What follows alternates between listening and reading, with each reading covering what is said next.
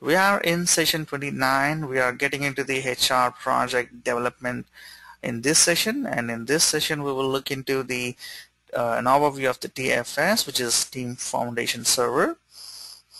And we'll see a Team Explorer 2010 uh, with Visual Studio 2010 we'll see an ALM of uh, which is application lifecycle management for for agile software development which is um, uh, we'll see the templates that we can leverage from uh, TFS which is available for agile methodologies to incorporate an agile methodology.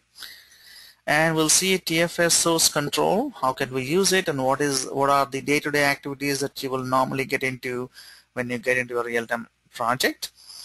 And we'll see HR project how to create an ASP.NET project to start with and we'll see ASP.NET Web Application project in uh, VS 2010 and VS 2008 and what are the differences and what are the enhancements made uh, in this project template um, in VS 2010 and we will also look into the uh, ASPX web form creation and organizing them inside of folders within an ASP.NET project. How can we do that and the ASP.NET navigation menu how can we uh, modify that?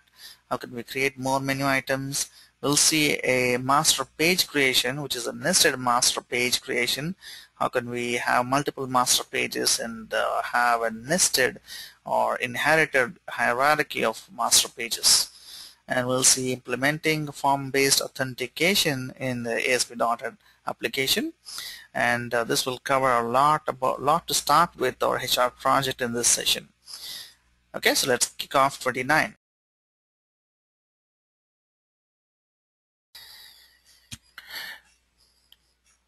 Okay, so we have uh, done the design phase um, in the previous session and uh, from today onwards the development phase is kicked off.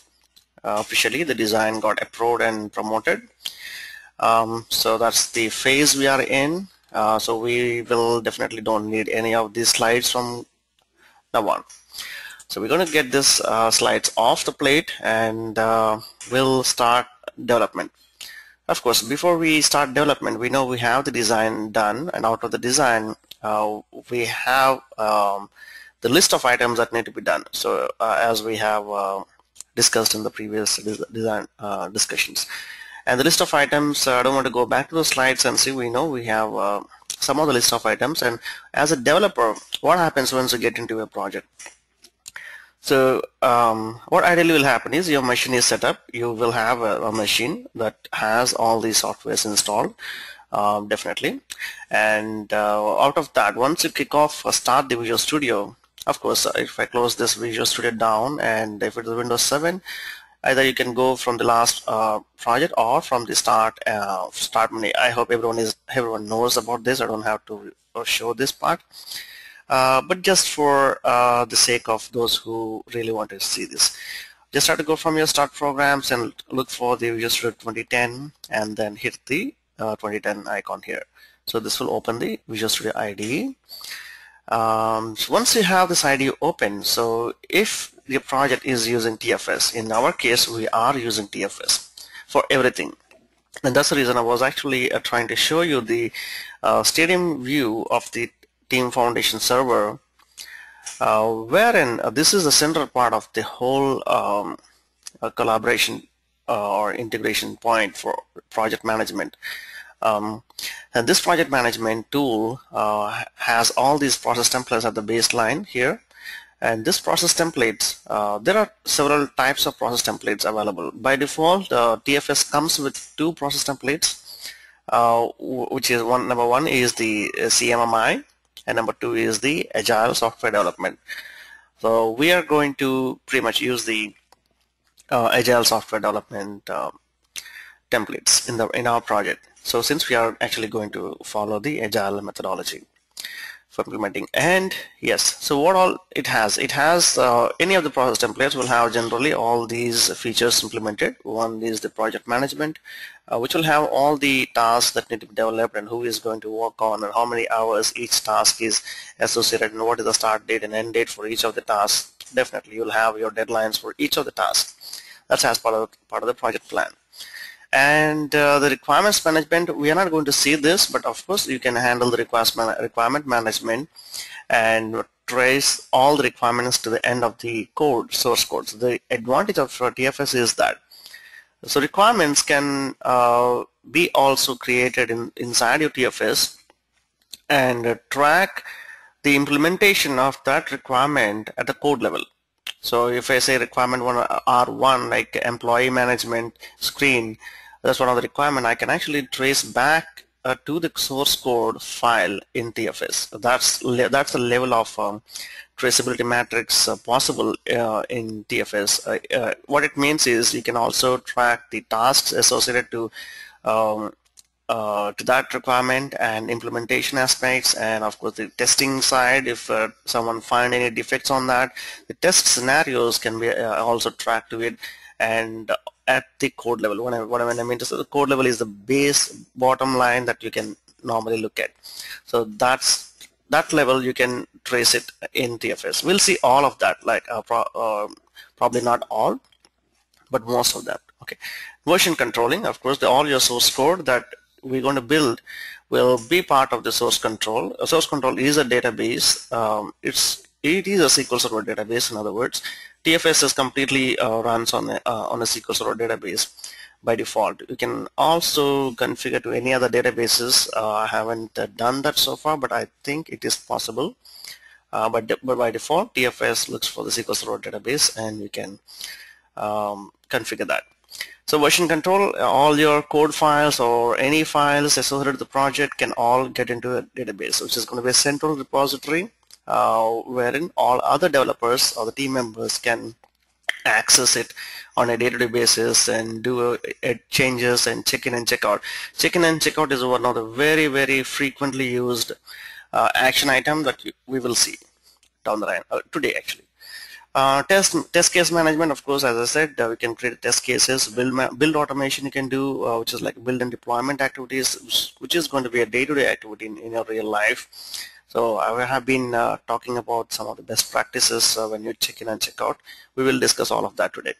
And reporting, um, of course, reporting is related to the project uh, itself, wherein how many hours have been planned, uh, what is the current status of the plan, how many items got finished, and uh, how many more hours are remaining, and so on.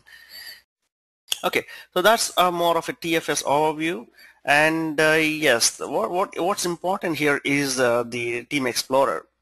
So this is one of the key tool. Um, this might not be um, available uh, as part of the TF, as part of the Visual Studio installation.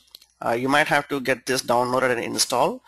Um, and again, I probably because at your uh, local, uh, you might not have this whole TFS again. I know uh, most of you, uh, TFS is again, there is no uh, trial version or test uh, version. A TFS whole server itself costs you about $14,000. Um, so it's expensive. And of course, because of its capability, um, it's a little expensive. So, um, but fortunately, I have the version with me um, which I procured as part of the uh, subscriptions. Yes, so today we'll see all of that um, in action today. So this will probably help you in your real-time experience.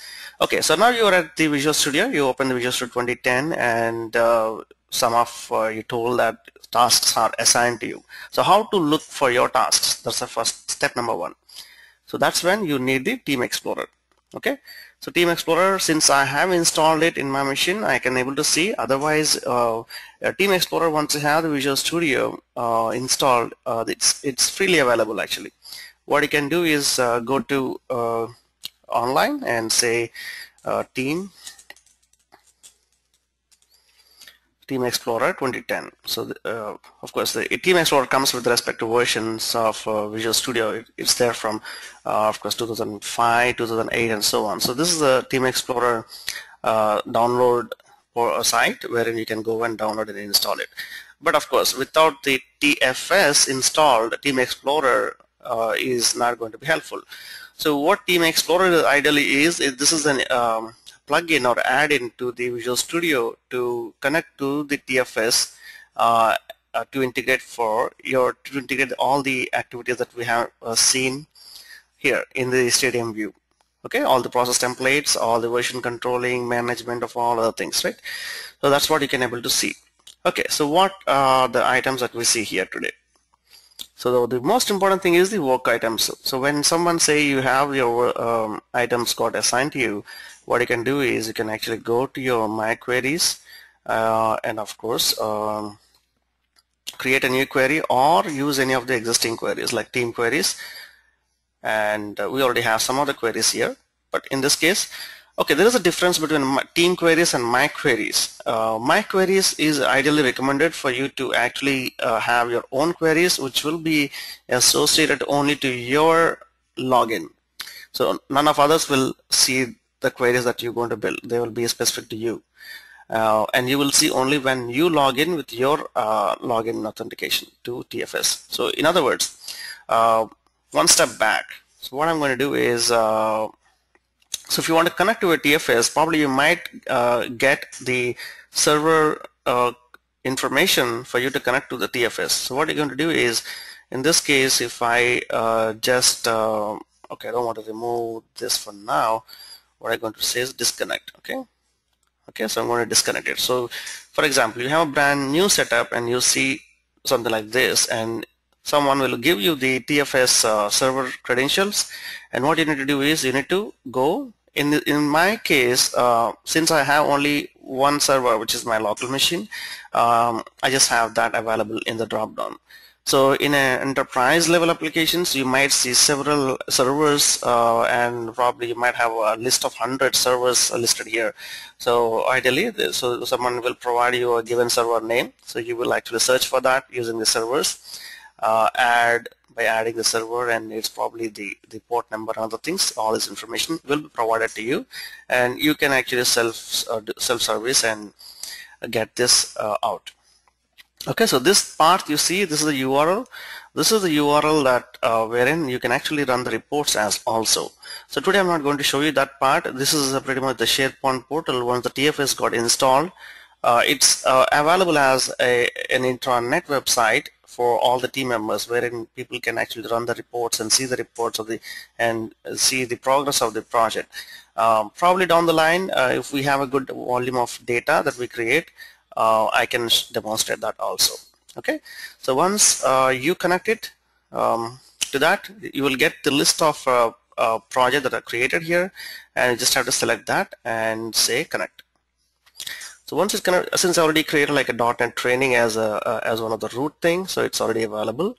Uh, otherwise, uh, of course, the team lead, so someone will be creating that for you. So this is again a part of the T, uh, Team Explorer, uh, sorry, TFS admin role.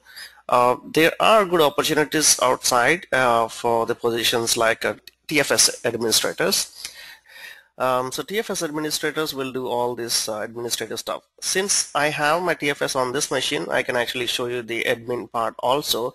Uh, but okay, in, in light of the time and our scope, I'm not going to go to that level. Okay, so you get to uh, access this uh, to this one, and then you're going to create create your own query, Say my new query and it has this query. As I said, TFS is completely a, SQL Server database, and uh, this interface is part of the Team Explorer, which comes in. So project name, you can actually pick the project. In this case, uh, this is a, parameter indicates the current project, uh, or you can actually get rid of this, no problem. And work type, work type is, uh, if take a look at the items, if you see the bugs, issues, uh, shared steps, task, task uh, test case, and user story.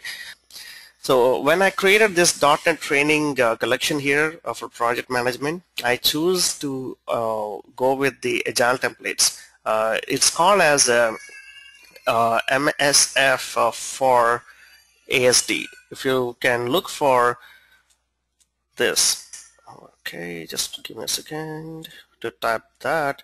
It's called as MSF for ASD. What it stands for is uh, Microsoft uh, Solution Framework for Agile Software Development. So that's what it stands for. So I choose that template and another template is called a CMMI. Uh, CMMI, CMMI is one of the other template available for your uh, management uh, methodology based on the methodology that you adopt for the project. so what all you're seeing here is completely uh, agile software development templates um, and in this case we for you once you get in all you care about is the task because you're not a tester you are a developer. And uh, yes of course you will have to see your bugs and issues um, down the line. When someone like a tester is testing your um, testing your outcome and uh, they found issues then they will create issues for you. And in that case you need to pick that work item type as issue. So in this case uh, since we are in a development stage and uh, we are developers. So we're going to see for a task and the state of course any. So let's see what this query returns and pick the run command here. So I did create two items for the sake of our simplicity and two of the items are assigned to myself. And the state is active. Okay?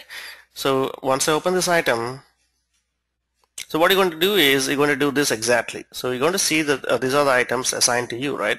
So how you do for assigned to me so it's simply go and see assigned to and pick the name. So in this case so again so all the users again uh, whoever have access to this portal will be granted access and whoever have access they they can see the name here and this name is pretty much uh, uh, to your uh, Windows authentication. So when once you log into your machine you will have uh, access to this um, server. So if I say uh, assign to me so we want to pick your name and say search for that. And once you have this line item you can open that and see. So in this case uh, create ASP web application is a task uh, for me and that's what I need to work on. Uh, probably it has a deadline of course. It um, and it has some hours. Original estimated hours is four hours for this and uh, remaining is two and completed is two okay just give for a sake of uh, example it might be like you know for this task you might have given 40 hours and today uh, it's remaining 40 and completed no okay none of uh, item is completed so I'm going to hit a save Okay, you might have access to say, uh, change these numbers or you might not. It all uh, privilege based. You can um, and you can see the history also. And implementation wise, so this is a good tab which can actually link to the respective um, uh, respective uh, ch child elements associated to this task. For example, if you have created a web project to this and you can actually assign the SLN path to it or, or respect to work items. Like for example, this can be a parent-child relationship in other words. Uh, to create a web project in the uh, uh, in the Visual Studio because we are starting brand new so it might have a couple of steps involved uh, so all that's all those uh, sub steps can be included as a uh, other children to it. So TFS automatically detects if all the children are done then it would automatically change your state to to done. So that's how it's going to it says closed once all these sub items are done. So we're not going to see all of that in demo. Um, and all the other external links like the artifacts or documents other things that all you can uh, link up here uh, you can actually link to a change set or a child or a hyperlink or parent or there are ton of other uh, things that you can for example for test cases you can attach the test cases associated to this task and tested by and so on. So so it's uh, endless. Uh, and also change set you can actually browse to the given uh, change set number uh, also. In this case uh, change set is again uh, what it means is if I see the details here so each of the change I'm doing and checking and check out in other words this is called a checking the changes that I'm doing. So each of these items are a change set. So a change set is for example if I when I edit something that becomes one change set. And you can actually link that change set to your um, line item here. So that uh, for future trace this is how the traceability is going to track um, for the given uh, change what are the files got changed for example if you want to you're applying a patch uh, to your program uh, and uh, that's went into a certain build number. For example, bill number is around uh, 1.0.59 something is a build number. So you can actually look up for all the files which went uh, in that build. So it's things like that. You can get to a granular level of query and see what are the files uh, have changed. We can also actually track uh, which are the line of lines of code got modified in a given change set. We'll see that. So that's level of granular traceability is possible with TFS. And attachments is a kind of, kind of external files that you can attach. For example, in this case, if I have my design document uh, or uh, emitted out, so I can actually attach that design document to the task so that once you get in, you can actually look into this attachment and uh, see. In this case, for example, I'm going to go browse and um, locate, where am I? Okay, so I'm here. Okay, my documents, it's a bit lengthy, lengthy way to go, but okay, no problem. okay so this is the HR project and this is the design document that I have and I'm going to open and set uh, say this is the design document. Sorry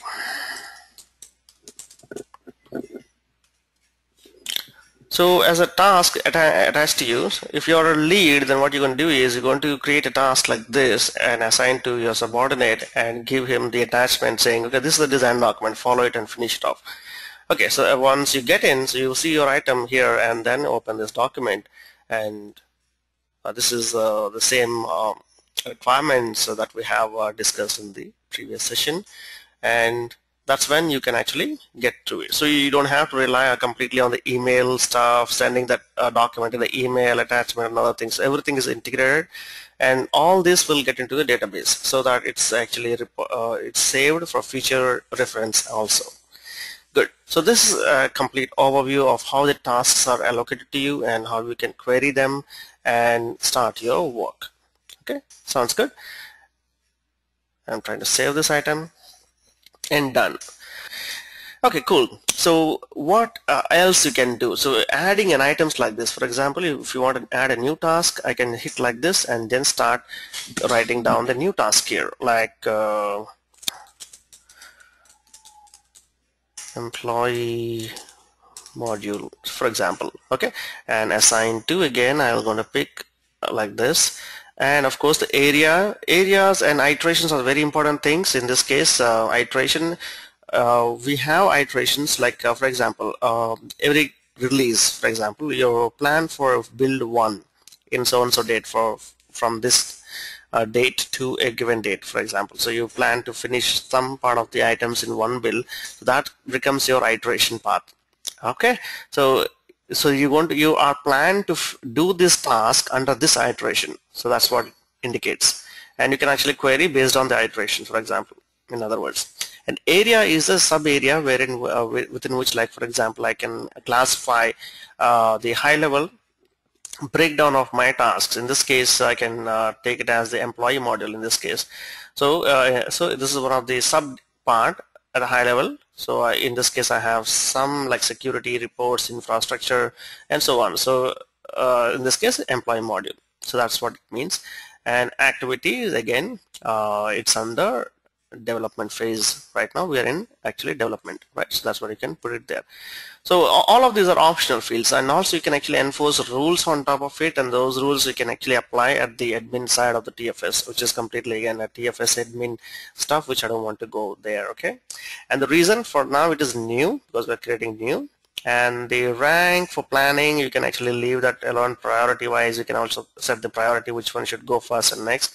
And the estimation or original estimation is uh, for example I said 10 hours and remaining 10 hours of course computed zero at this point right? And the detailed description of the task uh, like uh, create uh, employee page under uh, general folder and uh, blah blah blah whatever. Okay based on the requirements. And of course you can attach the requirements as an attachment to this. And if you're if you're actually managing the documents in the TFS itself then you can actually link that to this um, document which is if it is already there in the TFS in other words. Okay um, so in yeah, as part of the source control, we'll see how can we even create the folders wherein you can put the documents in, and those documents, if you check in, uh, that can be linked using this. If at all it's uh, completely external, then you can go with the attachment. And, uh, okay, so if you have to do this way for I know 100 items, it's going to take a ton of time, right?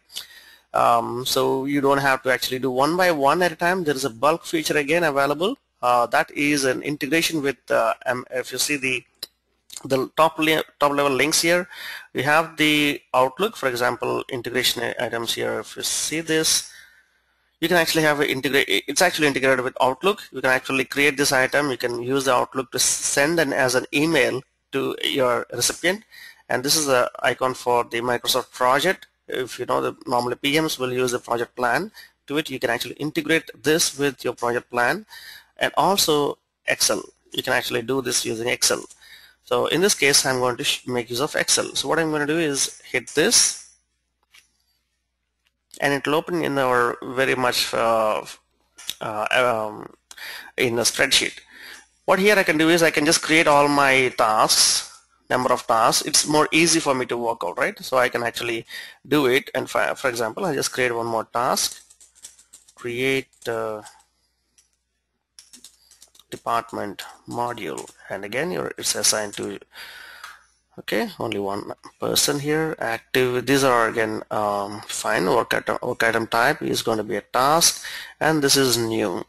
And once I do this all I have to do is uh, if you see there's a, a plugin here called a team. So this is available once you put your team explorer uh, sorry team um, explorer installed in your machine so your your spreadsheet is completely integrated with this as an, uh, a team completely a new ribbon for team once you do this, you just have to publish this. Okay. Also, again, if you try to close this without publishing it, it's going to prompt you whether you, you want to publish this or not because this is in the spreadsheet but not yet in, uh, gone to the database. So in this case, I'm going to just say publish. So if you see the ID got created automatically and this item is saved. And the, now onwards, I can either save the spreadsheet for future reference or I can simply say no. Okay, that's that's all it is. And once you do this run the query and I can see those items created. So for bulk operation you can actually use the uh, the office uh, integration also with the TFS okay it's pretty easy right? Yes so once uh, once we are done with this uh, what we're going to do is uh, today for the task for example okay for example okay this is a new query. I want to save this query. As we discussed uh, okay you want to save your own query. My tasks. Okay. This is my tasks and it's going to be saved for me. So whenever I log into the TFS uh, from whichever machine uh, in your network for example uh, in LAN suppose your machine got crashed and you've got a brand new machine then once you log in you will still see all these uh, for you because these are not saved locally. In my case it's different because the TFS server is still sitting in the same machine. So if my machine crashes then it's everything is gone. That's a different case in ideally in the work environment you have the TFS server somewhere sitting uh, as part of your project server and the client all the all the developer machines will be connected to it uh, the way we are connecting here. So you, if your machine got crashed overnight and you're not able to um, retrieve any data from your local machine, what you can do is you can simply get a brand new machine and just connect to the server and all your work is saved there. So for that reason, it's very important for you to save your stuff to TFS, which is why check-in and check-out is becomes a very important task for a day-to-day -day activity. So this is the first activity that you're going to do as a part of the day. So you're going to query your, your task for the day or for the given iteration. In this case, I can also query for the um, of things I'm looking here for an iteration. Yes, iteration path. Right, today we are in build one, so I'm going to only look for the iteration one. Okay, so that's how I'm going to save it and run. So under iteration 1 I have only these two tasks because for the earlier ones I didn't actually update the iteration uh, 1 so that's the reason none of those appeared here. Okay so consider that these are the two tasks uh, for you to work on for the given week. And of course based on the uh, nature of the work you can actually go and create a subtasks again on top of this. You can actually go here and say team um, uh, and say new work item and say uh, start adding task and this will be actually linked to this task by using the all links. You can actually link to the given task uh, or a change set or the as, as a child you can actually attach to the given task. So that's how it is going to be. Okay, good. So enough of this overview. Um, so we will jump in creating the uh, doing the actual work for the day. Okay, so probably we will. I will try to show you this whenever possible by by uh, winding up sessions. Like uh, we're going to check in all our stuff, right? Okay, now creating a new project. So now we our task is say new project. Okay, under C sharp language. So we, we choose to have a C-sharp language. So all the steps what you're going to do is uh, all these steps need to adhere to our design. So in the original design we decided to go with the C-sharp.net and it's going to be ASP.NET web application. Okay? So, and we choose the ASP.NET web application and of course we're going to give a name to it. And the name for this uh, we're going to give it as say HR project okay and the location for me I'm just putting in the temp C temp okay? And of course you're going to choose one more uh, task uh, uh, check item here. Add to source control. Okay so this is again important thing. This is when once you choose this option it's going to actually connect uh, your put all your uh, files that you've been creating uh, into TFS directly okay so and create a, a, directory for solution which is common you will normally see. So since I have the source control um, server attached I can actually it's actually prompting to which uh, location is you want to save this. And in this case I just uh, got this one and I'll say new and say HR project. Good. So I'm going to create this one and say uh, of course this is the path where it's going to be saved. And this this is actually you know this is your uh, local um, uh, working directory. And this is the local working directory and solution folder. And this is the server path where this is going to be sitting in. Once we did this so if you the one important thing to notice here is the plus symbol which is new. So far we haven't seen this uh, plus so this is where the integration will comes in. So what plus indicates is that uh, this is a new file that need to be added up. Okay. And you can right click on this and say check-in. This is when the check-in and check-out will be visible. So if you don't have the TFS or Team uh, Explorer installed, then you won't see this context menu item wherein uh, you, you, see the check-in item, I have view pending changes, undo ch pending changes, shelving and other things. We'll see what all those. Okay and once I pick this item so these are the new files uh, that are created. New web project created. Okay so I'll just copy this just in case if it's something fails you can come back. So the check-in is done. So once the check-in is done you can see it's lock item. There's a lock key indicates that this these files are completely locked for uh, changes. So in one of the earlier sessions I was talking about uh, this specific thing. Today what, what I'm going to do is right click on this, double click on this and say space. Just I put the space button. So what if you notice it, this file is checked out. It's got checked out automatically without my notice because you you will never notice that um, something got checked out and uh, this is one of the very very critical step uh, to keep it in mind uh, that this will cause us so much of serious trouble in day-to-day -day life.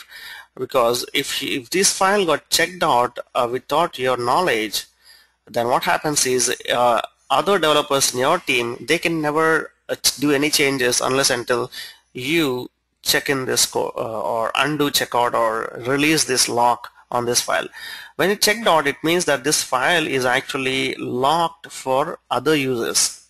So it's a, a kind of a concurrency uh, for multiple user access uh, is restricted for the same file at the same time. Although TFS comes with a multiple checkouts option also, there is an option wherein you can enable at the admin level to allow multiple users to check out the same file in that case it's a strictly di discipline based and uh, once it uh, once you check in what it's trying to do is going to try to merge the your changes with other users. So if both of the users working on the same line of code then uh, apparently what will happen is uh, either one of the users change will go will be going going on for toss so that's the risk there. So to it's always important for you to check one option to avoid such kind of automatic checkout so right now this is by default uh, done. To change this behavior what you need to do is you need to go to tools and options and get into the source control. So as you see this is the team foundation server is the plugin that we are using for um, for version control. So source control is a, in other words version control. Under environment this is the options that you need to um, change for, so that this behavior doesn't happen. Okay? And you check out something accidentally and then you leave for the day and uh, someone who is uh, going to work on that piece of uh, file overnight they will not able to do anything unless until you know this file got checked out. So it's very important that you don't lock any files uh, at the end of the day. So in that case what you need to do is prompt for checkout. And there is of course uh, for when you're saving the file you can also have pick and save as to save as a temporary. So it's always good to keep it as a prompt for checkout so that you know that this file is going to be checked out. So in this case since it's checked out un unwantedly what I'm going to do is I'll right click and say undo pending changes. So this these are the couple of uh, context items that you see the context menu items one of them is the undo pending changes. That means what are the changes you intended to do? You don't want to keep them in the server so that you want you will just completely get rid of that. Okay and view pending changes we'll see uh, once we do some changes. And shelving pending changes this is where this is one of the good piece here um, which is again a good feature in uh, TFS suppose uh, at the end of the day uh, you're working on some la la large piece of code and uh, end of the day at the time you leave it it's not yet done. Okay so at the same time you don't want to leave that in your local copy. Okay always remember that whatever code you work there is a local copy in your um, maintained in your hard disk uh, which is always referred to the server copy and that's when the differences are always uh, seen. So ideally when you work on the project you the source files will be uh, get to your local uh, workspace and it, you will have the local copies working on.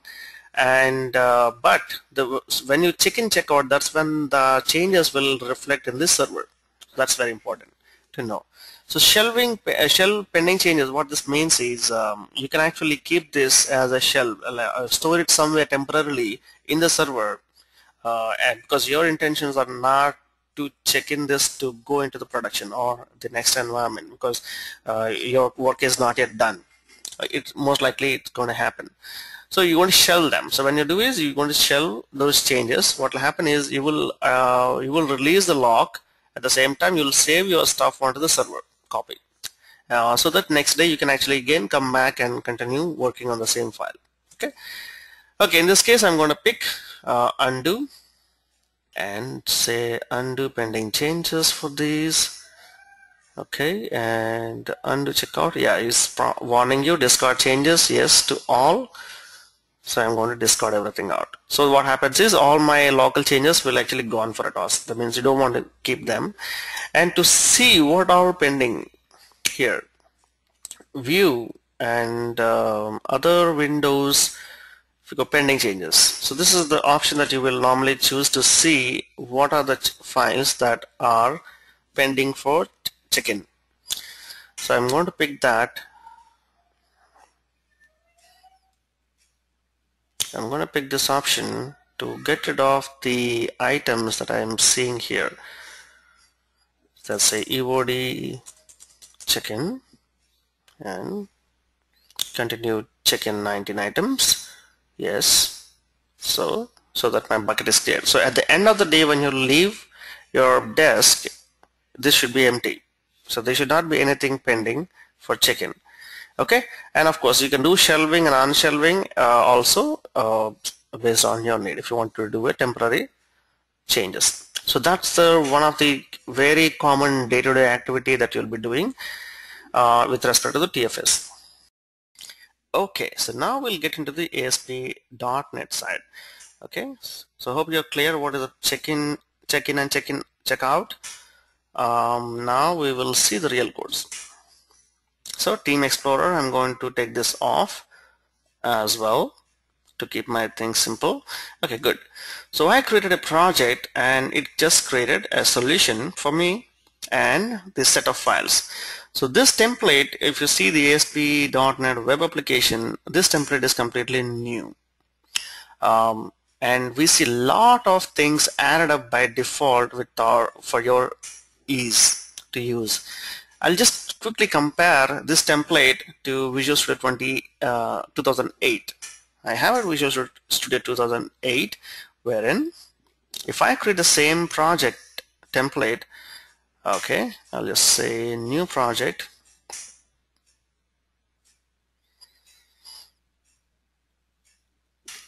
apparently I what I noticed is Visual Studio 2008 is uh, completely slow. Very very slow. Okay. So this is something called uh, VS 2008 I just wanted to keep it uh, separate. Um, okay just for the because I just wanted to do this only for the demo sake. I don't want to keep this copy. Okay I just want to compare the template. What all you get uh, when you create a web application project. If you see this um, so a lot of things are not there right? So if you clearly see there 2010 is actually creating so many files whereas uh, 2008 is actually not. And also if you take a close look at the web.config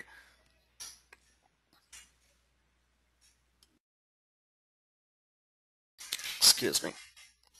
Okay so if you take a close look at the web.config it's a huge file. And it has a lot of sections uh, added up by default as part of the web.config so pretty much all the sections that you normally need are added up to the web.config file okay and we're not get, actually getting into each and every section for this and this is a vital information for your application to run as a uh, uh, FYI, what is a web web.config?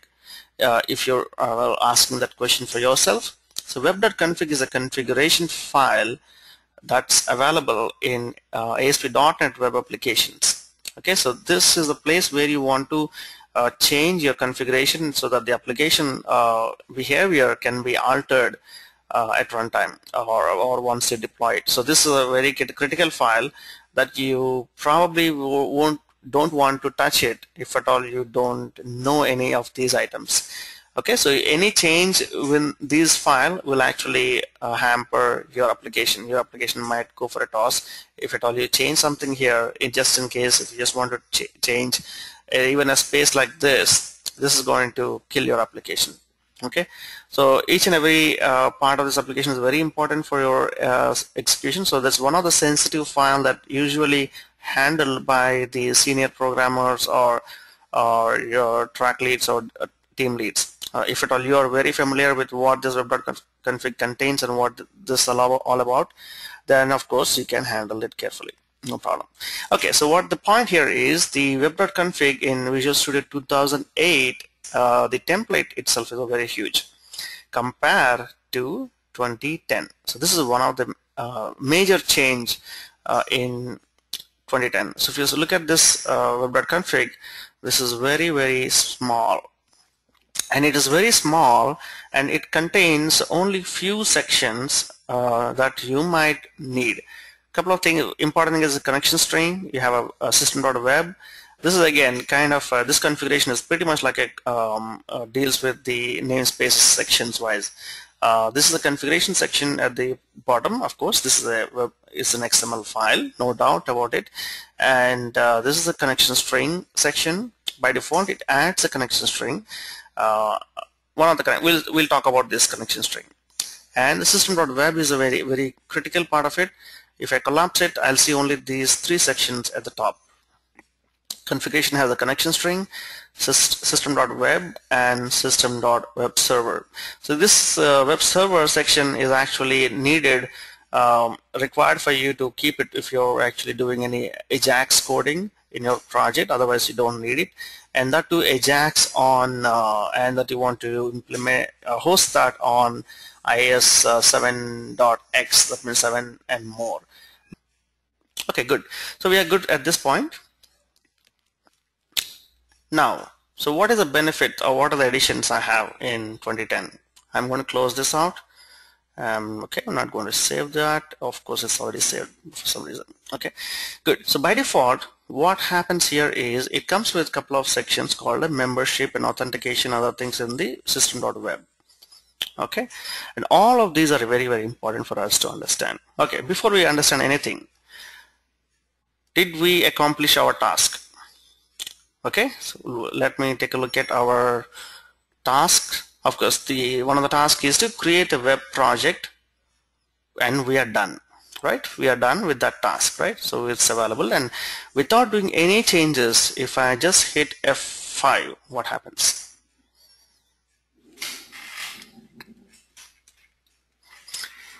So a couple of things to notice here. One thing to notice here is the pop-up here on your taskbar. Um, this ASP.NET development server has actually started soon after I kicked off this application and this is an important thing that you need to note. So this is an ASP.NET development server. It's a development server. This is a key thing to remember. This is a development server. That means in order for you to run this web application, you need to have a web server. So that's a key thing for any web-based applications to have. Um, so so that which the web server is responsible for you to run your website on a server. Okay, what is a web server? So web server is pretty much like a software that is running on your hardware.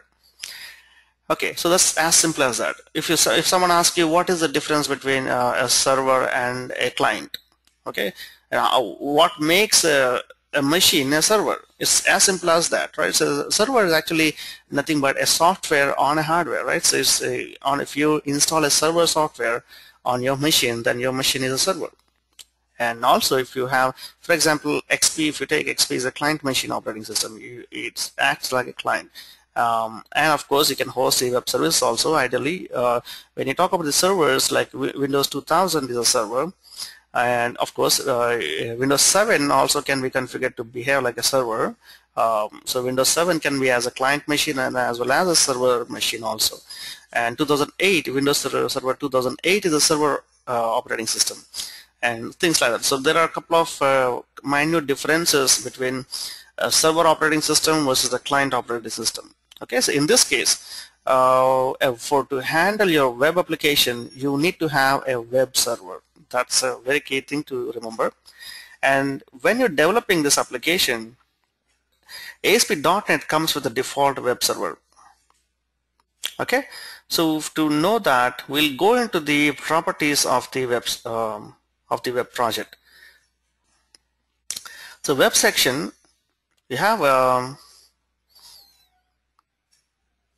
couple of uh, two important uh, parts in this web configuration which you need to be uh, very very well aware of.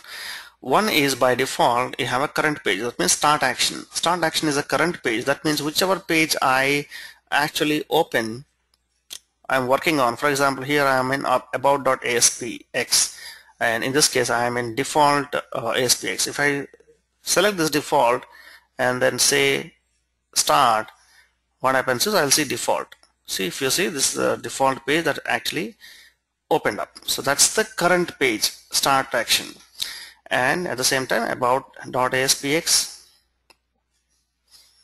and I go to about about.aspx so that's the um, current behavior. And this is again very important to uh, know why? Because you while doing a development uh, you really want to uh, know from which page you want to start up.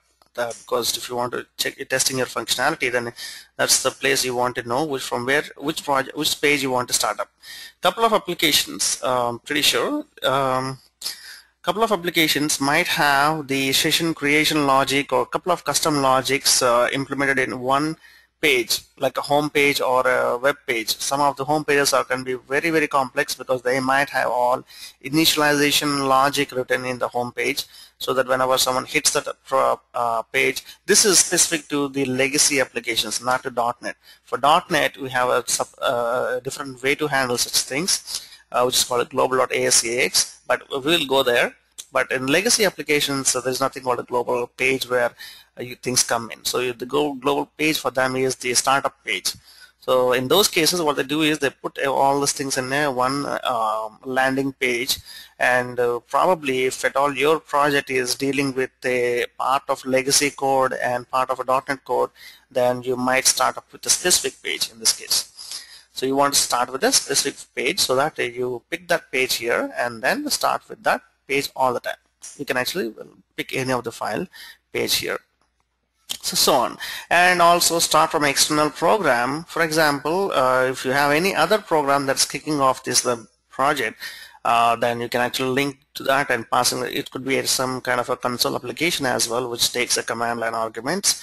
And of course the working directory that means where the exe is going to run. And startup URL. This is another option wherein you can actually link uh, uh, the source code of the of the project and link to a hosted uh, web project.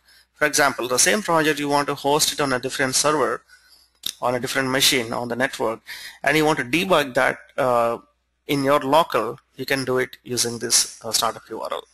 So wherein uh, if for example this so in that case uh, you need to remember that you need to build this in debug mode and then publish it on the server. For example if you are having a trouble uh, with some line of code which is reproducible only in a given environment because of certain configuration changes or data changes data dependencies uh, and you want to identify that defect in your local machine because of course you can't go on that machine and uh, run the Visual Studio and start debugging.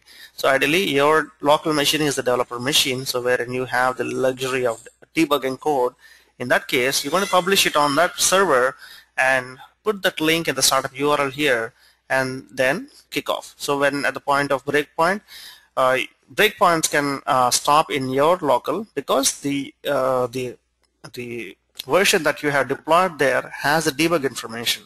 So that it actually maps to your local source code and apply the debug breakpoints and you can actually debug the issues. So that's when you will use the startup URL and don't op don't open a page wait for the request for an external application. This is again um, some other application uh, you're going to start this up and wait for some other application to ping you back. So if you, this is again cross application interaction if you're doing with uh, playing with. So that's when you're going to use this. This is typically useful when um, you're actually uh, doing a navigation from one application to another application and uh, and the entry to this application is actually from another application. So things like that so to keep it our, keep our scenario simple, we will uh, keep our selection as current page. But all these options are very very useful options based on the project that you're going to work on or kind of environment uh, that your application is running in. And servers, this is again a very important thing. So the first option here is uh, apply server settings to all users, of course, stored in project file. That means whatever selection I'm going to make here will be applied to the project file PRO CSPROJ file and that will be checked in as part of the project itself. Okay? So whoever gets the latest of this project in your in their local all the settings will be saved for him. But remember this will not be this is again specific to your local only. So this will not saved will not be saved to the project file so likely, most likely in a situation wherein you get into a project wherein it's uh, doing a legacy application and uh, you actually start with an ASP project and then the ASP project navigation comes into an ASP.NET project and that's when you really need to make use of the startup action in your local to start up URL and specify the ASP uh, URL to it. It could be in your local or it could be on uh, some server okay so on so this is a very important uh, uh, selection that you need to remember and servers is the one we were talking about uh, by default it's uh, use uh, Visual Studio uh, server, development server, which is comes by the default in the uh, 2010 or as part of the Visual Studio. Okay, and another thing. So this is another way. Other way is called as a Cassini. Uh, is a, it's a colloquial um, short form to refer to. People call this as a Cassini, um, which is like a uh, uh, development web server built in with the uh, ASP.NET application itself for the developer use only. Again, this is for the developer use only.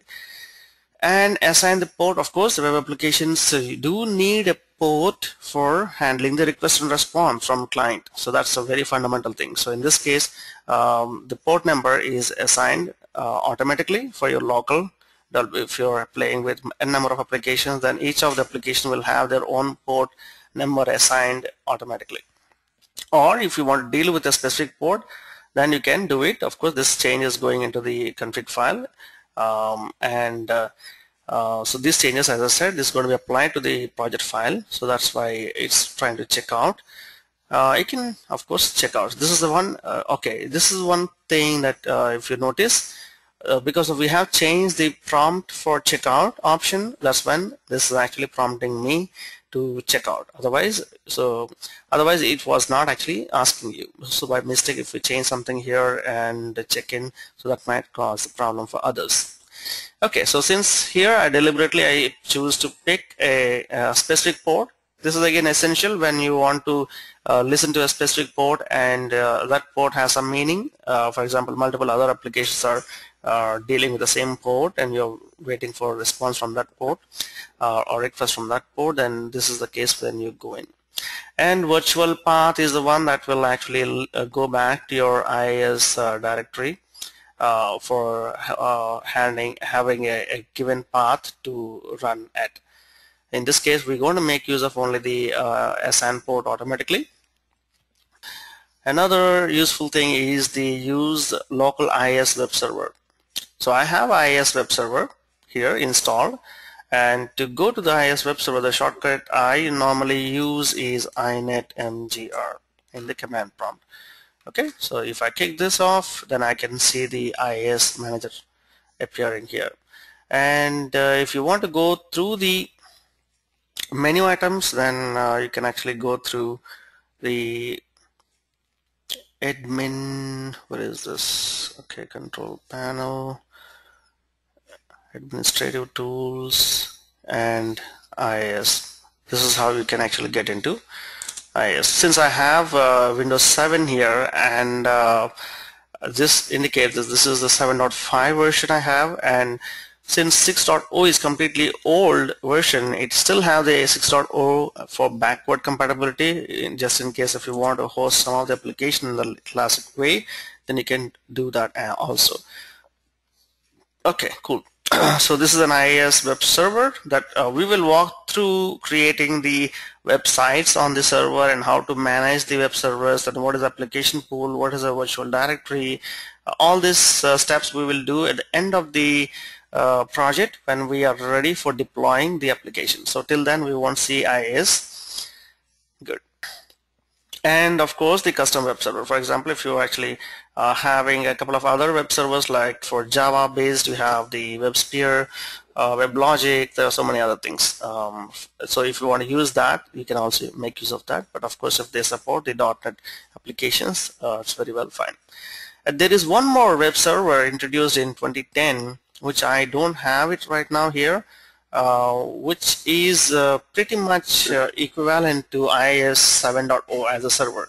Since the development server, uh, I think that's called as an Express uh, server or something, that's a new web server which you can actually download and install in your local machine, in which case you can make use of that server which will be um, useful for you to simulate the application or run the application uh, on uh, the 7.0 and higher versions of IIS. So it will be, it will not be just a developer server, it will be completely just like uh, working on an IIS uh, 7 plus uh, version.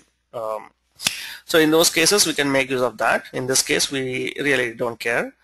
Um, so that's one important uh, project settings that I wanted to cover. Good, so we are done.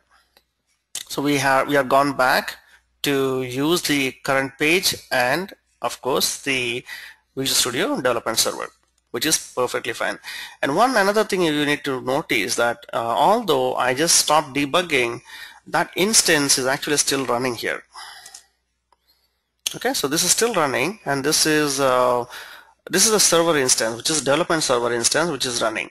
And how do you what is the exe name that is actually uh, responsible for that we'll take a look at the task manager and we'll see under the processes uh, let me go with this and say W this is the web server exe that is running in your local. Okay so the exe name is webdev web server 40.exe and for older versions it's uh, only the 40 will be missing. Otherwise uh, it's called the same as uh, uh webdev.webserver.exe for 2010 the 40 is added up. Okay? So that's the exe name and if I right click and say end process it will be gone. So if you see the instance is gone. Just now it got disappeared. Okay so that's what it means. Uh, that's the web server that's running behind the scene uh, when you're working in your local. Okay step one done. So what we're going to do next we will be actually uh, enabling the authorization and of course the security implementation. Today we will see the, how the security can be implemented uh, in this web project. Okay. Okay, so by default what happened here when I straight away run this project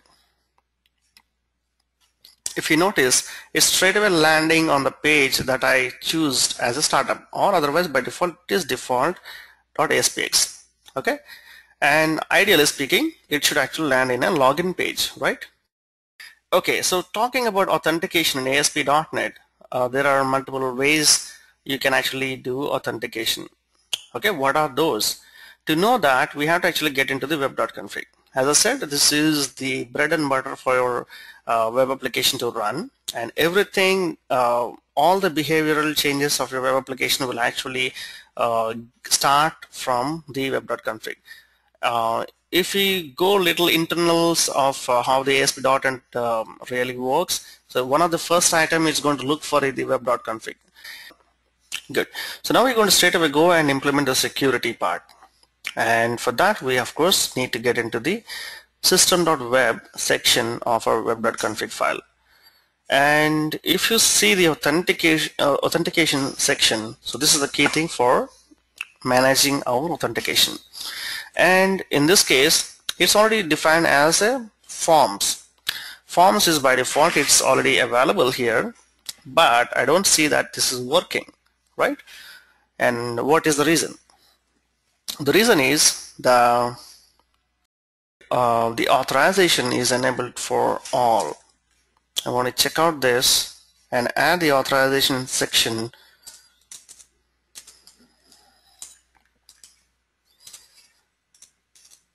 So this is an authorization section I'm adding up uh, where I'm going to specify um, deny deny users all.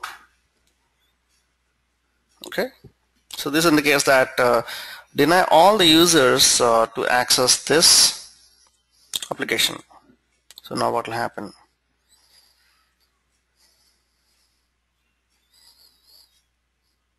So that's when it came into login page. So we see the login page, but who created this login page? Okay, so we'll see who created this. When I created this template, I have a separate uh, folder created called account and under this, surprisingly, all these uh, login features are implemented by default.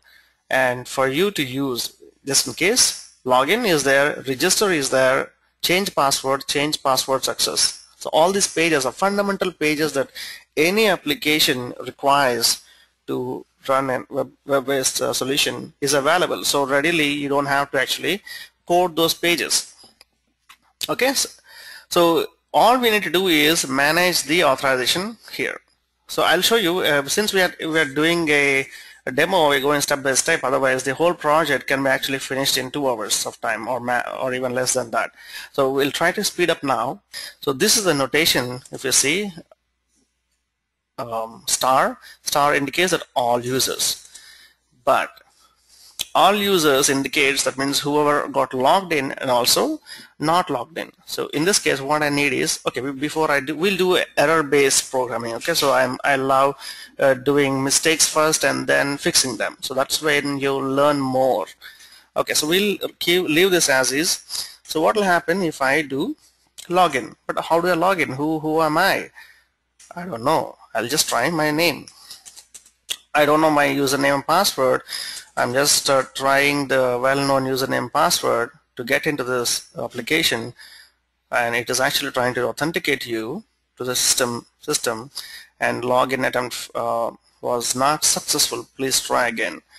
So even the error message is available. It's not successful. Please try again. So you do actually out of box everything is available to you. But now to understand where are my users? Where are my users? How do I do that Okay, that's a good, very good question to ask yourself. So by default, uh, this application actually built-in comes with a database, which is which is named as attached uh, DB file uh, data directory. That means the the directory within your ASP web. This is the data directory, ASP data this is a special folder called as a data directory. So if you can put any of the files within this directory and map it as a, di a directory data, that will refer to the directory path. And this is a file, that's where the, the user information is stored. And this is ASP.NET So, but I don't see that here. If you see, although there is a data directory which is pointing here, but I don't see this file under this. How to see that? To see that show all files, if you hit on this, it's actually already hit on show all files, yep. And you can see that file under this folder. And if this icon indicates that uh, the empty white one, that indicates that this is not included as part of the project okay so all the other highlighted ones are included in the project including the bin so bin that's one very common mistake people do whoever uh, uh, new and uh, new to the source control what they do is they will try to add these two fo folders into the projects by saying include in project so this is a very big mistake people do so whatever is uh, excluded out of the project what it means that these are kind of a temporary files that are created for you to work in your local. We already know what is a bin and obj files, right? Folders, right? They are the temporary uh, folders which uh, which are going to be used to create the temporary executables to run the uh, run the program in your local and do the debugging. Okay, so that's the reason. So these folders need to have actually full access, that's read and write access to the uh, IDE, and also they are dynamically changeable by the program. So that's the reason they need to have read and write access. What happens when you include this into the project? It's going to get into the source control versions. So source control, what it's going to do, it's going to pretty much lock the file. It pretty much, if you see, this is a kind of um, um, easy to manipulate. All the files that are under source control, if you look at the properties of that, it is just only mark the attributes as read-only so that means they are locked so what happens is uh, if you try to edit this in your local windows it will not let you edit it. So if you want to edit it outside the Visual Studio environment you need to actually remove this attribute. Okay? That's how you can actually cheat or uh, cheat the Visual Studio. But what happens is if you check out this program uh, item it's going to do two things. One is uh, remove the read-only flag in your local and number two is it's going to apply the lock in the in the uh, Visual Studio sorry a TFS database. So that it's uh, it indicates for other users that this file is locked so although you can actually have the power of uh, just manipulating or cheating TFS by uh, doing this action okay what happens is I can able to edit it. But what happens is you're actually cheating yourself. Because if I able to do this edit and do the changes onto this file, all those changes are still in your local only. So all those changes will never go to the TFS server. So what it happened, what means is you are likely to lose all your changes if at all your machine got crashed or you lost your machine. So that's a critical thing or very bad thing, bad practice to do this. Although it is possible to do this. Of course, in certain cases where you really have to uh, manipulate this way uh, or cheat the TFS, then you can do it that way. Okay, so the point here is these files should never get in. So whatever you see um, not included in the project should not be included by yourself. Even this is a VSP SCC file. This is a source control file which is only for your local user file which should not go into the TFS. What happens is once you get into the TFS, someone gets the latest of this, they will get this folder into their local and that will be locked, which is read-only file. Um, so what it lock means they can't build the project in the local and they can't debug it because that folder is locked in their local.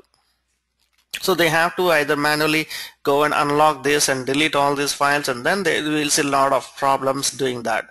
So by default, uh, IDE, your Team Explorer is smart enough to identify which of the files should be added to the source control and which of the files should not be. And this is a very common mistake people normally do. What they do is they get the project and then just add all these project files uh, to the source control just like a file system, so, which is very bad. Uh, in this case, this is a source control. I can actually go and uh, add um, like a new folder add new items to a folder. So like this I can actually select a folder and add it. So you never add project files in this way. Always use the uh, solution explorers uh, TFS plugin context menu items to add a project to the source control. Okay so that's the one of the key thing that I wanted to highlight because I have seen almost everyone does the same mistake and later uh, it creates a lot of problem for all others. Okay cool. So we are done. So we see this this is a database file which is being used by the security by default default way of security that are available in the system. Okay? And of course for our project for the scope of our project it's pretty good for me to use. I don't have any problem because uh, I don't have an enterprise uh, network here wherein uh, I, will, I can enable the Windows authentication so that people who are users have access to this Windows operating system or some means I mean sorry uh, to your machine into the or in the LAN so they can able to access it. So I don't, I don't have any such environment so I just I can still use the default MDF file uh, to handle my security. So that means all my users roles uh, resource role mappings all that can go into MDF not only that even I can put my database also into this MDF file. This MDF is uh, as good as a database file. This is a uh, MS Access uh, database file uh, which is pretty much a, a, relational data model which you can make use of it. Okay, so for now we're going to use this MDF as is for our security and of course we did see where it's got connected. It's got connected through web.config connection string and eventually if I go and talk to any databases then this is the place where I need to put in my connection string. And of course it comes with a connection provider. Uh, hope you if you're aware of the database part uh, NFII since our core uh, intentions in covering ASP.NET only I will not get into too many details of SQL Server database. Um, so just wanted to cover a couple of things here which are uh, important uh, one is the provider that you're going to make use of it. In this case, we are using the system.data.sql client. This is the provider that we're going to make use of it. And of course, when I create a connection to SQL Server database, we'll see how we're going to connect to the SQL Server database. Okay, so this is a kind of a little fussy thing because we have our uh, requirements saying that we have two roles. One is the admin role, another one is a general role. And admin roles can have access only to the admin pages whereas the general users uh, or mean say admin users will have access to both uh, the general pages and also the admin pages right? So that's what our use case talk about right? Well if you take a quick look at the use case here. This is one of the requirement that we have a general user and the admin users and admin users have access to a couple of page functionality here and general users have access to many of the part of this. So there is a kind of authorization requirement and we're going to achieve or, or satisfy that requirement today. And yes how will I do that? How do how much code I have to write is the question right? So don't worry about any coding. Everything is simple here so this is a deny users first because all the other because this this project is completely protected. So first thing I need to do is I need to deny access to everyone so that no one get access to anything. So then I will choose who can get into what. Okay. Now first of all to do that I must have some users right. So where will I get the users from? Very interesting questions right. So with the users, you can actually get it from the database. Of course, you can actually go and create the users into this database. But as a matter of fact, since uh, this is completely hidden, we don't want to go and manipulate this file explicitly. Okay, so we just wanted to keep this as is and manipulate that file using the tools. So if you look at this tool, this is the ASP.NET configuration tool and this is completely uh, new tool available in 2010. For earlier versions uh, the tool is still there but it's not that intuitive. It is very very very very user friendly uh, in 2010 and we are lucky uh, to work with 2010 so you're late to get into the ASP.NET but you're latest you know? so ASP.NET configuration tool is very very useful you can either get into that configuration tool from here or from project no project yes from project of course from project and ASP.NET configuration here. So what this is this is a web application which runs on your local. This is a very very user friendly tool. If you see this um, we have our three sections here security application and provider configuration. So all these for administrative purpose. So today we're going to see the security part of it. So I can actually create new users from here. But why should I do that? Let's use the application to do that okay? Because by default it has so you're not going to do that for every user right? So once you uh, say this application is available uh, let the users have to register themselves into the application. So for that by default you have the register page. What I'm going to do is run this application okay so I'm a new user. So it's actually since I picked the register.aspx as a startup project okay so since I picked that it's that's why it's going through that. So I'll say login page. So I have the login page. I know that I'm a new user. I have to register myself. So I'll say okay register if you don't have an account. That's where I go in so that's when they create new account information here. So I'm going to register myself saying with the name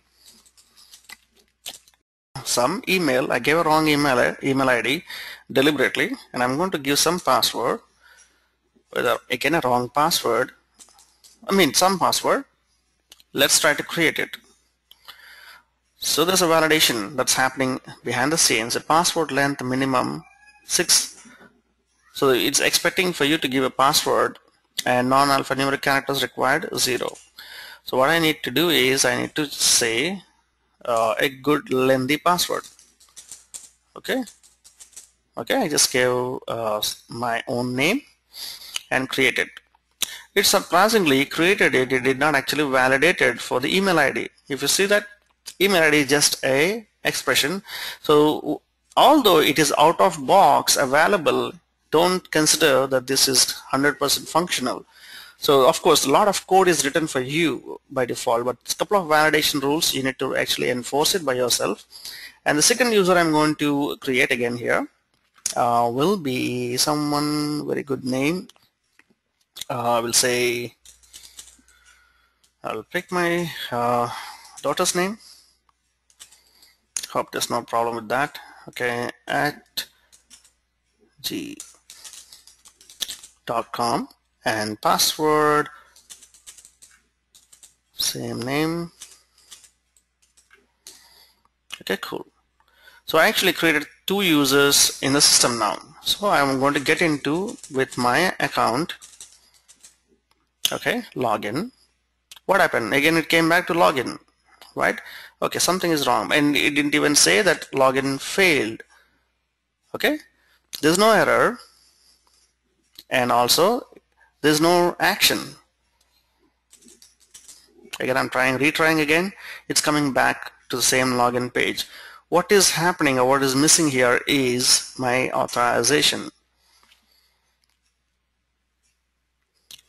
Here I said deny all.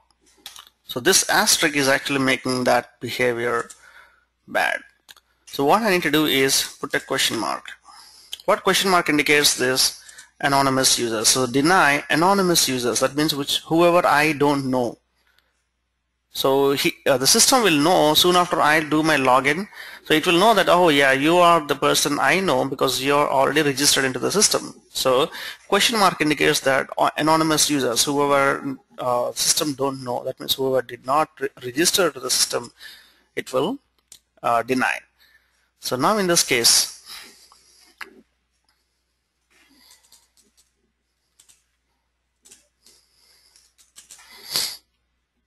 login. So now it's gone to the default at ASPX. So this is the landing page soon after I'm successfully logged in.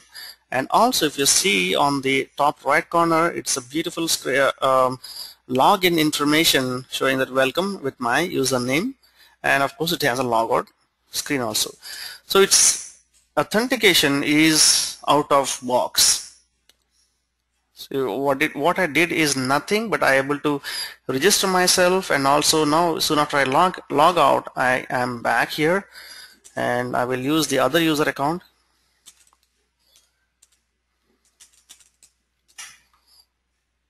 Login. I am successfully logged in. Okay so I'm good here.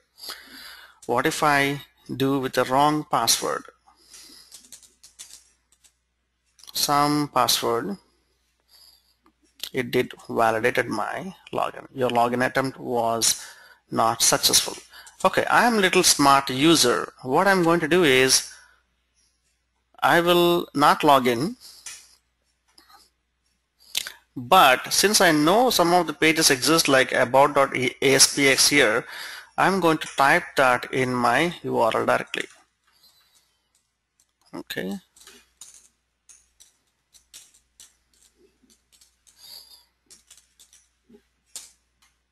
Okay it's just not enough. So the authentication is actually very strong.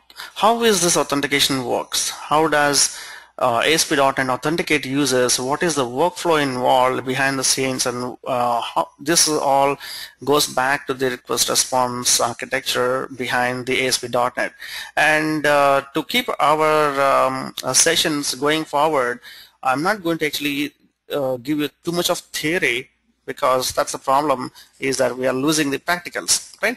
So we will completely focus on the practicals uh, keeping our interest of time and uh, we will uh, at the end of the probably the project I will actually take up a special session again down the line to cover the uh, whole internals of the request response process page lifecycle and all that things that you need to know as a developer but to finish our project uh, we will straight away go into certain things um, like uh, pretty much with the coding hands-on.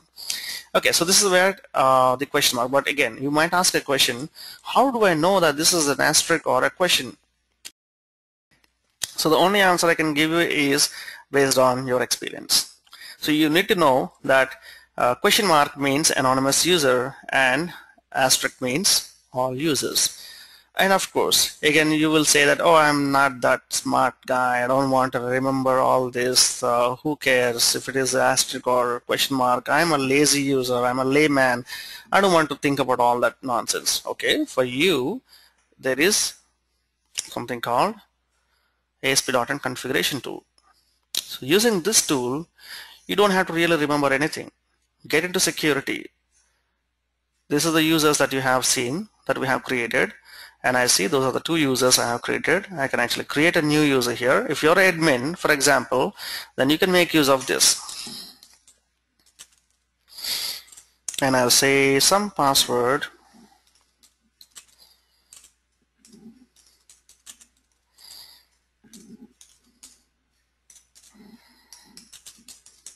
okay and create the user and completed continue done. So this is a whole set of tool available for you to use as is and and I have three users created now. And now comes the roles. Okay so we are good with the user creation. Registration is out of box. I did not do any piece of code. It's just out of box. And roles as well as it's again out of box. All I need to do is enable the roles.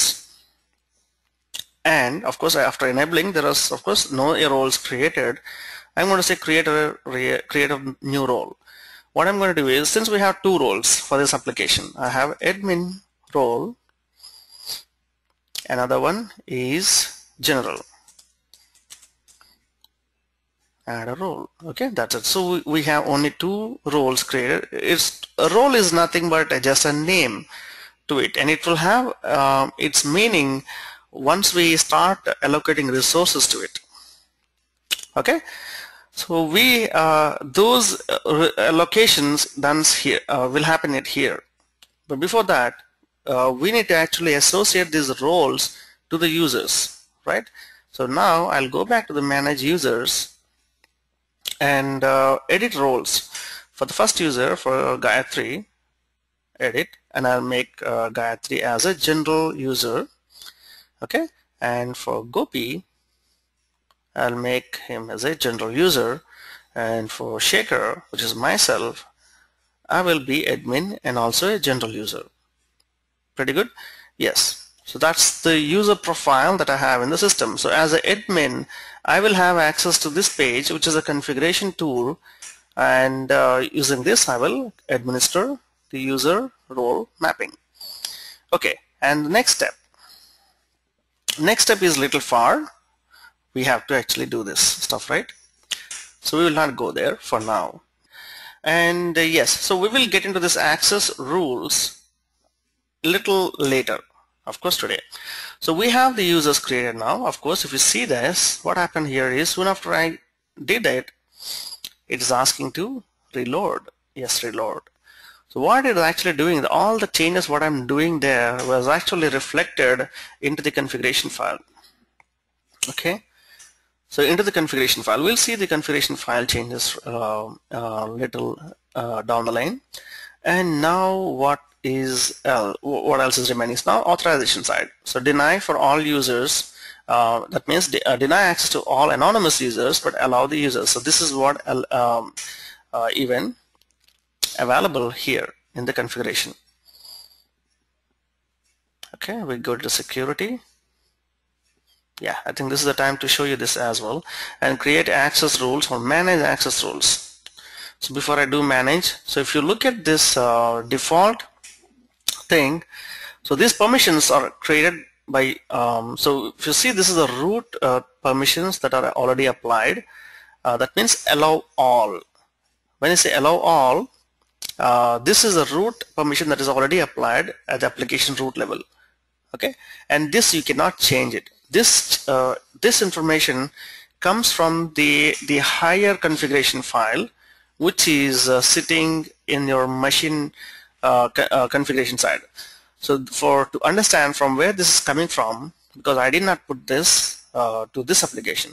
And this is again not editable in this tool as you see and only this is editable because this is specific to my application. So there is a hierarchy of configuration file settings that can actually inherit from uh, page to page uh, or application to application. For example, how the hierarchy looks like. Oops, sorry. I'm gonna hit the wrong one. So how this hierarchy looks like, I'm gonna actually just open the paint and uh, want it to draw something here. Okay. So the first thing goes is the machine config machine.config which actually resides in your uh, system uh, configuration file where the ASP.NET uh, is uh, uh, uh, your .NET applications are residing is pretty much in the Windows directory. Um, I will show you that path sometime later. So this is the mother of all configurations machine.config so the the this item you're saying allow all is actually coming from oops it's gone is actually coming from the machine or config.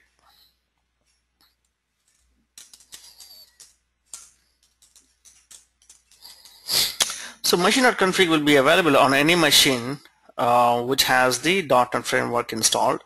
So it can be, it, it, will be available as part of the .NET framework uh, in any server. It need not be Visual Studio, but just a .NET framework runtime. And next comes is the web.config. Again, this is application specific.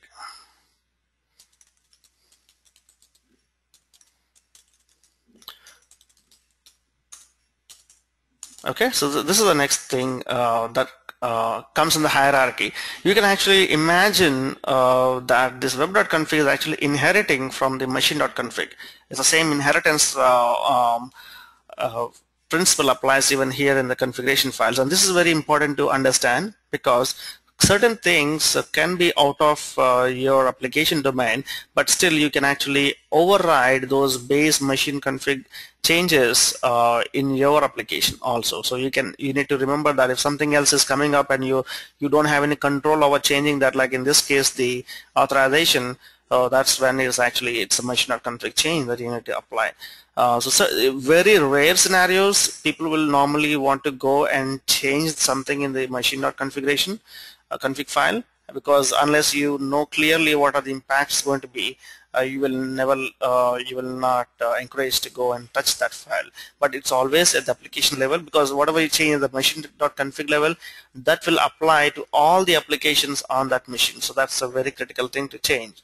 So if at all is there, there anything that application specific that you want to handle then it's always uh, encouraged to go and do it in your application specific web.config um, okay and the third one is again within the application you can have folder level, right? There are the folders also, folder specific.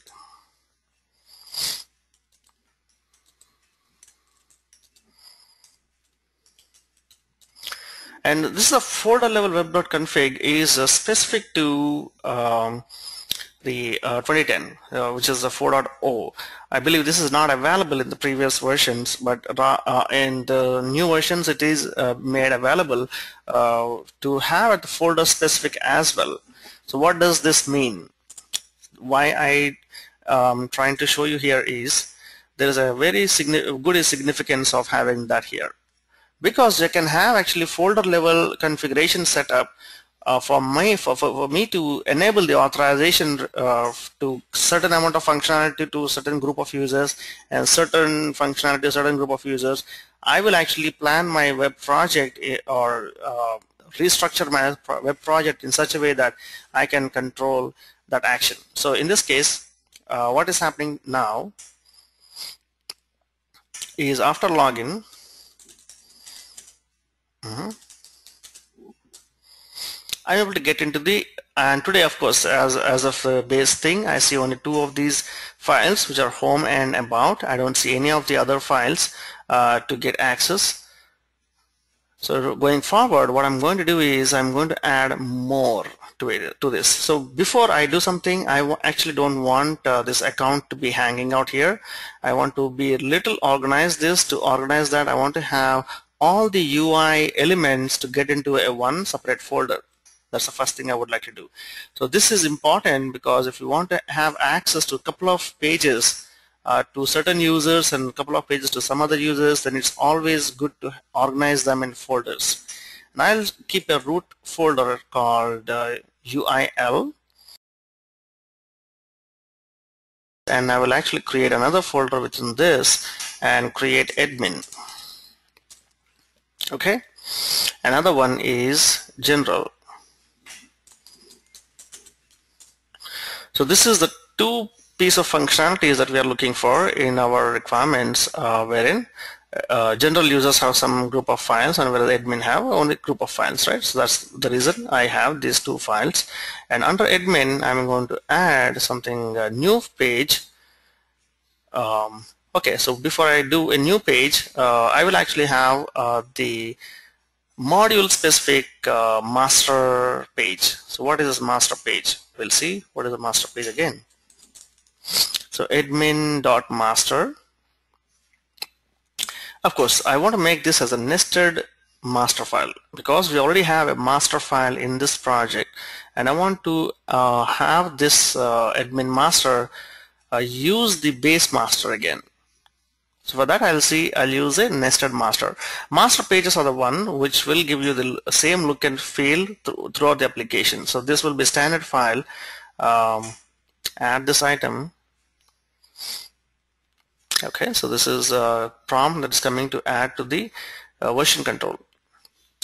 Okay, so what happened in this case is this is a master page. Uh, that means this has a standard set of uh, settings. In in our case, um, uh, site.master uh, this is the master page for the entire application. Remember I showed you one of the uh, this piece of uh, thing which we are not able to edit in the about.aspx. Uh, this is because it's coming from the master page. And if to edit this you have to get into the site master. Okay? And uh, the link from there is from the master page file in that project. Okay? Site.master is where it's been used okay aside that master I can actually go and change uh, the uh, the page setting uh, page level uh, application level things. Oops, I think I deleted something else. I'm going to put my application name which is XYZ or is it caps on? Yep. Corporation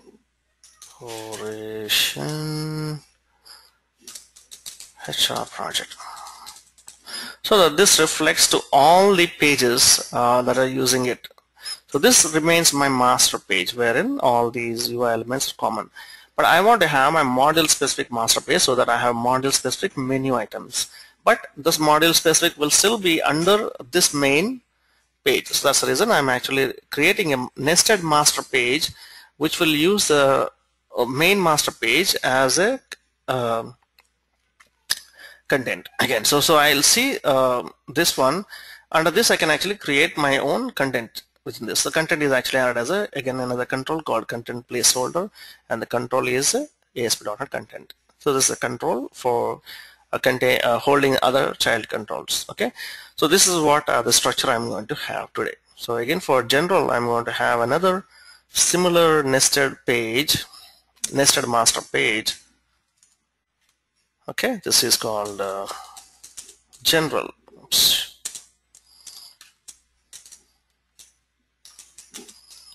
okay and uh, yeah this is a nested master page and I'm going to pick the main master page and then say okay of course uh, don't show this dialog again add this item to source control and okay we are good. So admin. Now the uh, main other pages that I'm going to look for. Okay so I am going to have a web form uh, web form using a master page. In this case uh, I will come because we have an admin page requirement called in that case I'll have a home page first. So this is called admin home. This is a landing page once you get into the admin module. And of course you want to choose the master page here. In this case because this page is going to be part of the admin so I'm going to choose the uh, admin master page. So under admin folder. Okay? I'm to choose this and add it.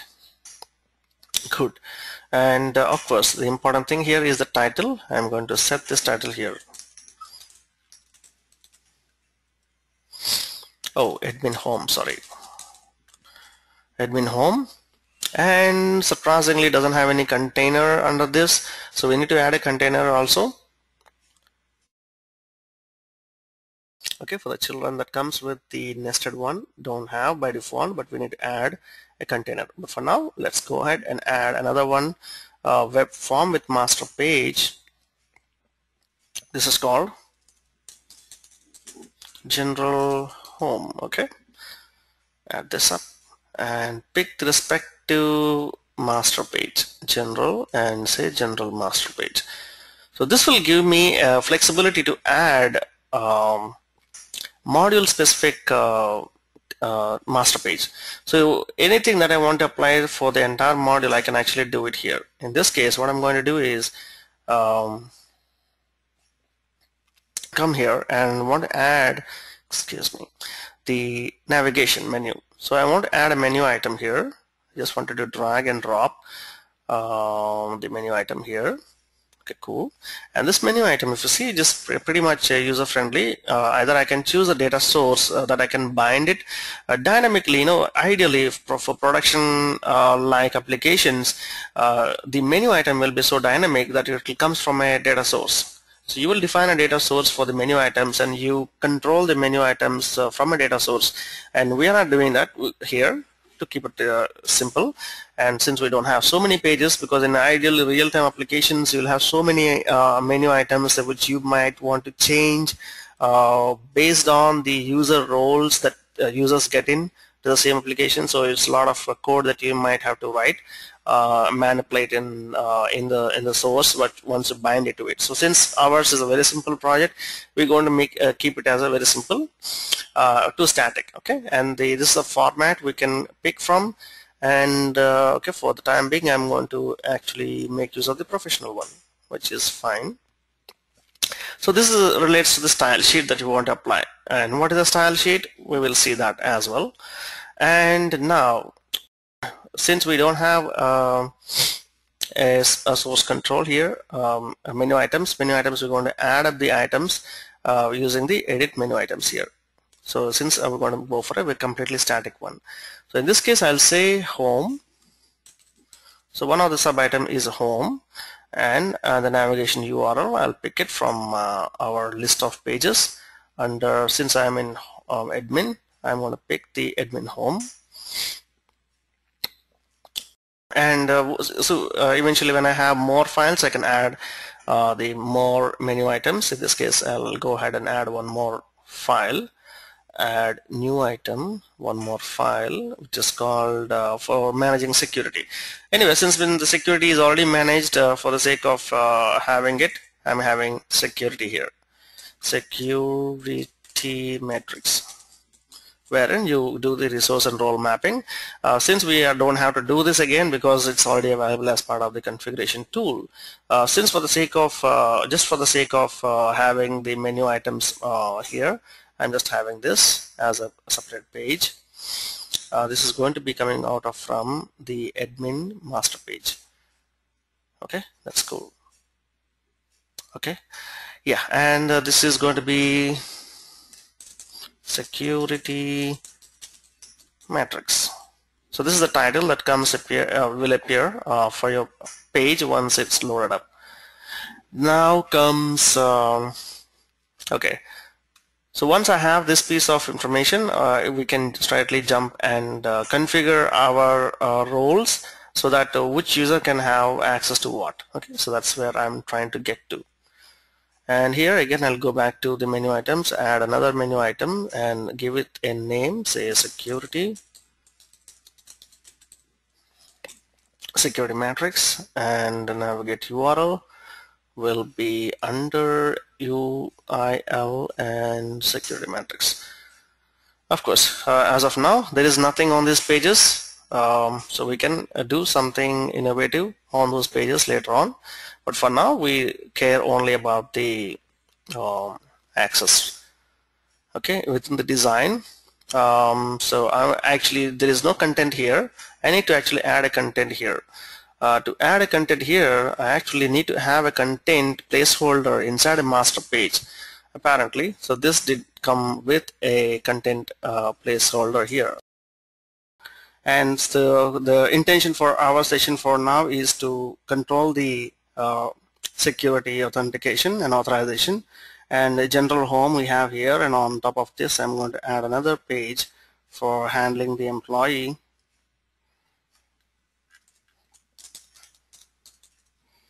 Employee information okay? So this is another page. Under this under general we're going to pick this general master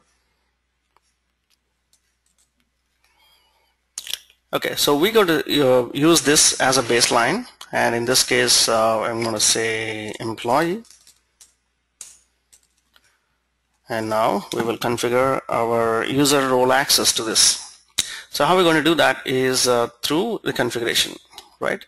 We go back to the ASP.NET configuration.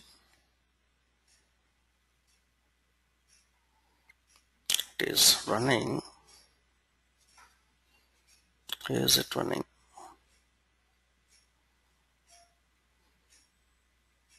Okay so it's running behind the scene.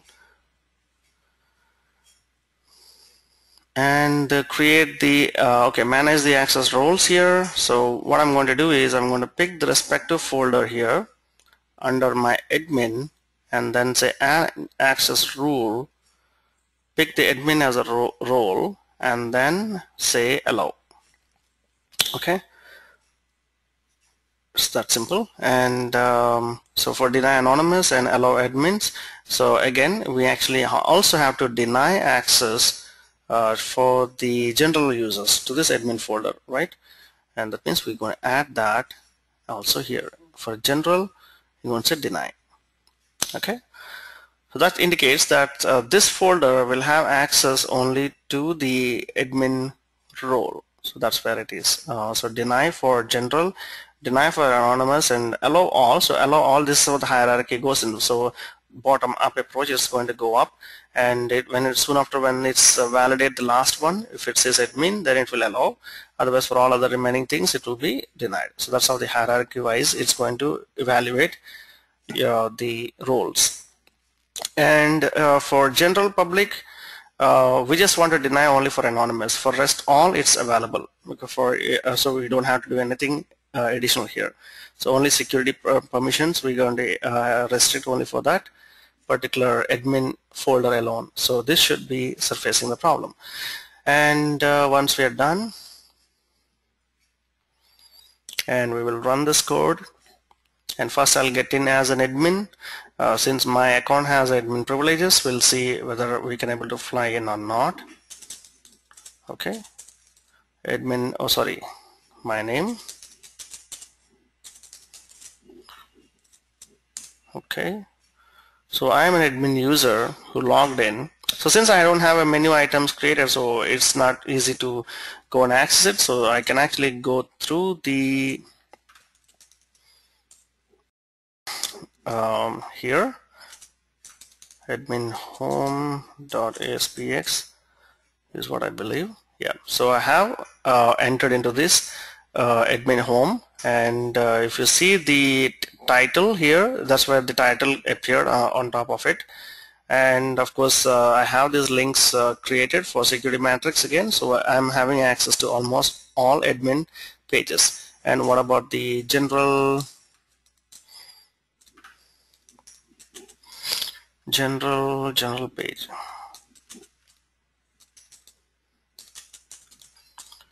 For general home um, so I believe this is general home. Probably I did not set um, the title for that and that's when it is not showing up anything here. So it still have access to the general home. To identify that we're going to just add the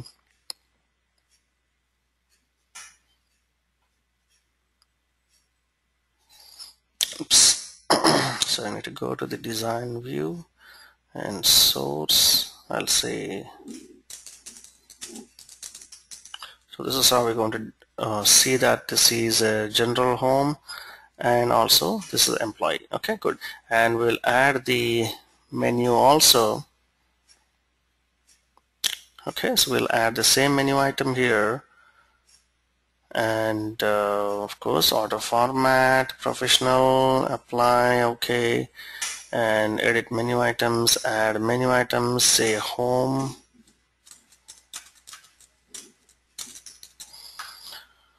Navigate URL.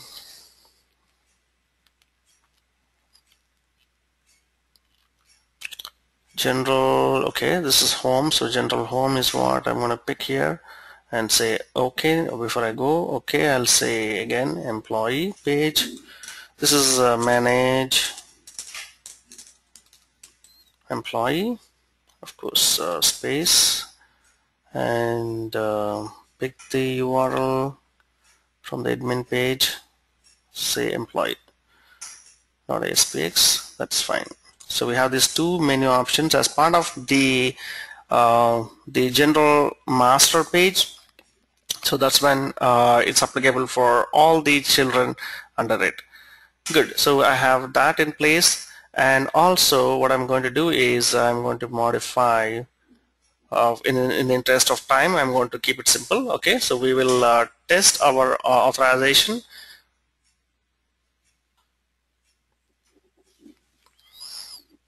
Okay. I'm going to log in with admin.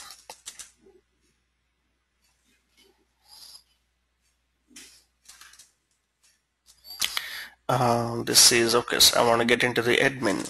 Admin admin home dot aspx oops I keyed in the wrong one because they are all U I L and then admin.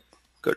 So which is good. So admin have access to the admin pages and also admin user should have access to the general home we are in general home and we are in general home and this is the employee screen. Good.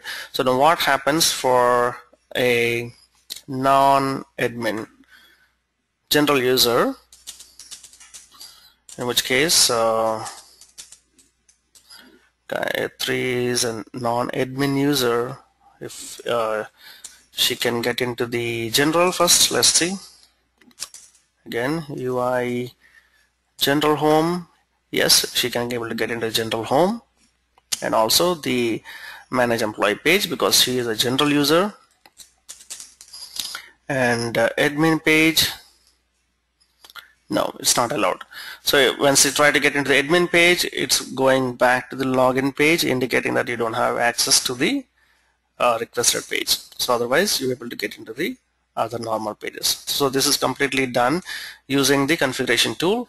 And another important thing uh, as I mentioned that once I did the configuration change what is important here is to see that there is a folder specific web.config added up. And uh, the configuration tool has actually added up these settings uh, based on your configuration that you have done on the top so in, uh, saying that allow admin and deny for general. And similarly for general user this folder has the oops,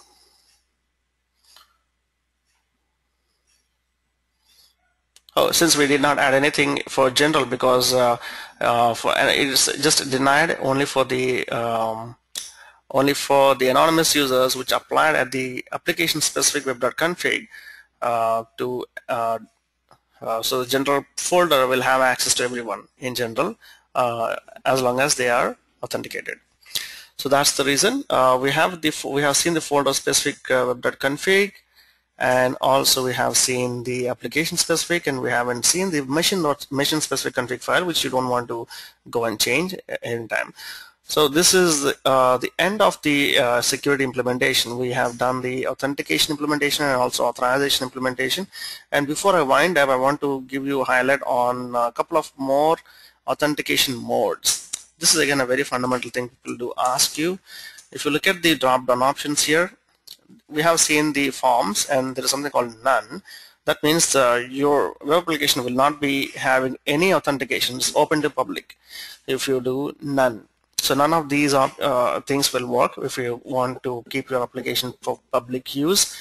And uh, passport is again a very important one. Passport, uh, um, you will get the passport authentication only when you want to make a single sign-on implementation uh, for uh, multiple applications. For example, if the user is authenticated in a um, at a at a some point of time in the if you, for example, if an enterprise has a number of applications, if you get authenticated at one place, so you can use that authentication ticket uh, as a passport uh, uh, to access uh, any other applications. In that case, you want to make use of passport authentication.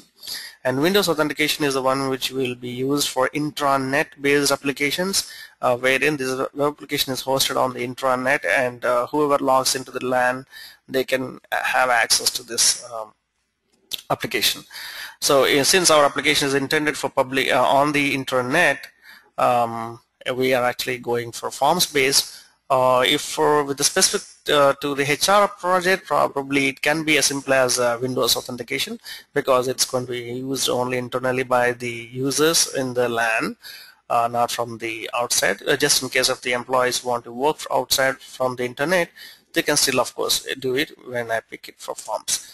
So we are going with the route of having forms-based authentication wherein it can be um, accessed uh, by users uh, by username and password. Okay, so that's part of the authentication and authorization implementation. We will see implementing uh, the code inside these pages to make it more functional, uh, implementing the um, the CRUD operations uh, with the database interaction, creating, updating, delete. And as an end of the day, as I've been saying, we're going to right click and say check in and say EOD or whatever based on uh, EOD check-in. Before I'm going to leave, I'm going to do this activity. Uh, this is what uh, you're expected to do at work. And also another important thing is uh, looking at your tasks and updating your tasks. So in this case, I go and query my queries and say um, new, not new query. Oh, okay, open, where is this open? Mm -hmm. Okay, I'll just double click on this. Okay, sorry, this is where open and I can see this task and I, I will update my status for the end of the day saying okay I uh, have the original hours for 40 hours and today I consumed uh, say 8 hours oh sorry. This is going to be 32 hours and completed 8 hours. Okay? And I'll pick the other other other task as well and remaining is 8 hours and completed 2 hours considering that I worked for 10 hours in a day. Just an example okay? And save. That's all I need to do. Just my status is updated.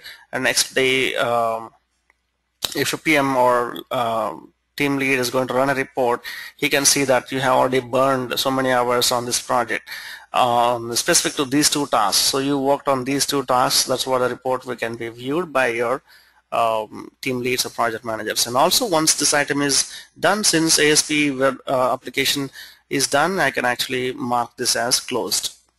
So uh, this indicates that uh, one of the item is closed, it's done for the day, and the reason is completed. Okay, so it's automatically uh, reflected here. So that's how you normally reflect your. It's simple. So once you have this, it's uh, you, you see how easy it is to update your status, um, and um, it's completely integrated with the uh, project management as well. This is what going to reflect into the project management plan also.